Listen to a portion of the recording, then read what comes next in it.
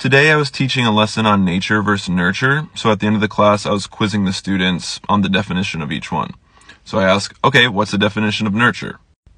This kid in the front row gets really excited and shouts out the answer.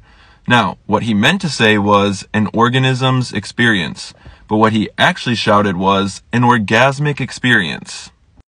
Half the class erupts with laughter, and I say, Oh, I think you mean an organism's experience. And he goes, Oh, yeah, well, what's an orgasmic experience? A kid on the other side of the class shouts, It's what I gave your mom last night. Do you know how hard it is to try to reprimand a kid while you're visibly holding back laughter? The class just descended into complete disorder.